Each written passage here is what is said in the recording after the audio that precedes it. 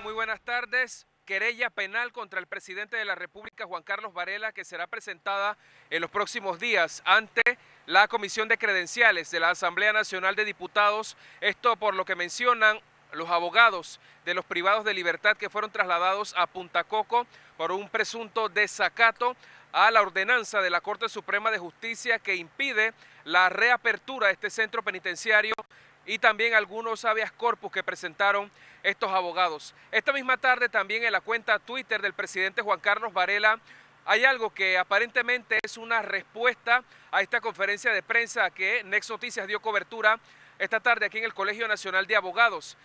Se publica en esa cuenta por parte del presidente Juan Carlos Varela. Ahora se unen abogados de peligrosos y poderosos narcotraficantes contra mí. Seguimos luchando por la seguridad del país y en contra del narcotráfico.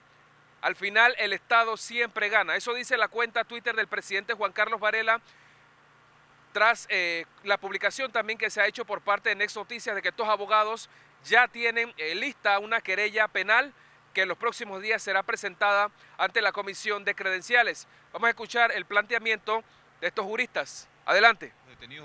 Para que salga a cuestionar y amenazar, como está amenazando a la Corte Suprema y a la defensa, cada defensor tiene derecho a pelear por los derechos y garantías que establece nuestra Constitución Nacional.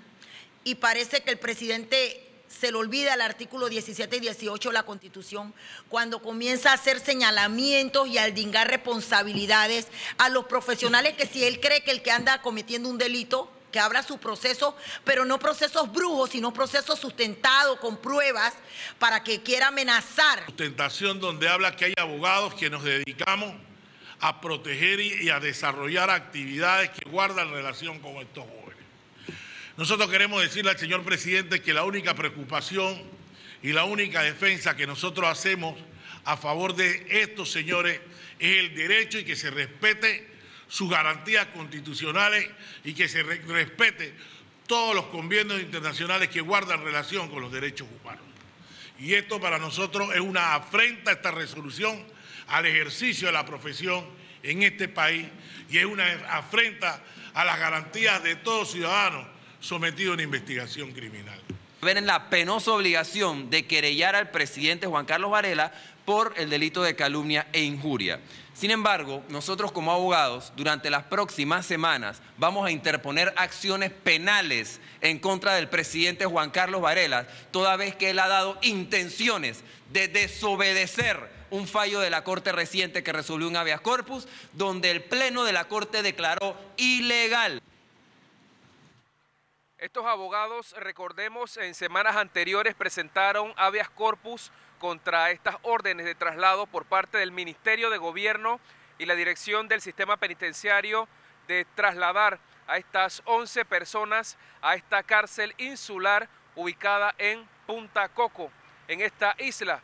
Ya había una ordenanza, un mandato de la Corte Suprema de Justicia, había el pronunciamiento de la Defensoría del Pueblo en relación a este tema, incluso había un pronunciamiento de la Corte Interamericana de Derechos Humanos sobre los centros penitenciarios de carácter insular y aducen ellos que por encima de esto el mandatario Juan Carlos Varela y el ministro de Gobierno Carlos Rubio insistieron en reabrir el centro penitenciario Punta Coco y lo que hacen, mencionan estos abogados, además de la reapertura de este centro, es endilgar esta responsabilidad de la criminalidad, la delincuencia y el narcotráfico, tanto a estos abogados como a estos 11 privados de libertad. De información a esta hora de la tarde.